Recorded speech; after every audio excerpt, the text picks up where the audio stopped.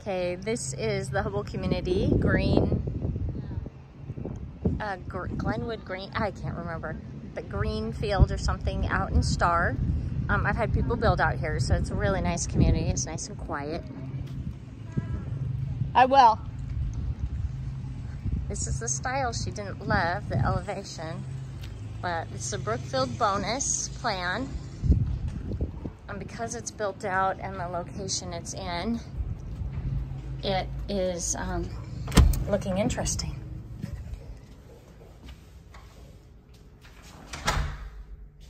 You got bedroom number one right here off the door. Closets are just normal, no build outs in them. Nice size room. Bedroom number two.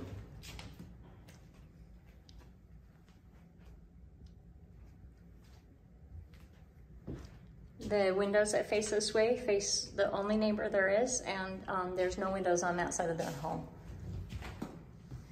Bathroom.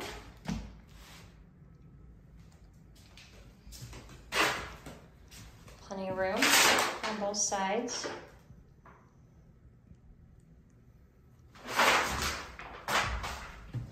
This is a closet that goes under the stairs. So this is the Brookfield bonus, which the bonus wasn't really anything needed, but because this one's built out. Then here is the fourth bedroom or office study. So it's a smaller room, but they built it into like a bedroom with a closet. This could probably be his little extra den room.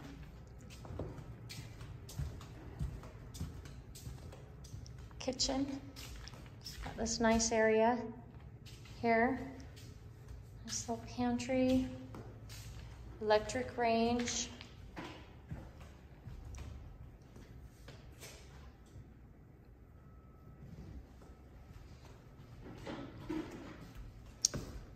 We've got some cows and stuff, I'm sure, over there. Just this beautiful view. Living room. And so this is where cows can be viewed as well. Right over there. Coming into the master. And this is where we had the best view of the cows.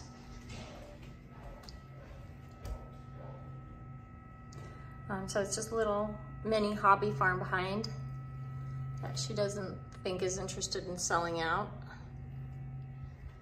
And those cows are actually across the way, so there will be no smell associated with them. Sober tub. Oh, the shower though, we did forget that. The shower enclosure would probably have to be dealt with. Um, and then the toilet area has plenty of room on both sides as well. master closet.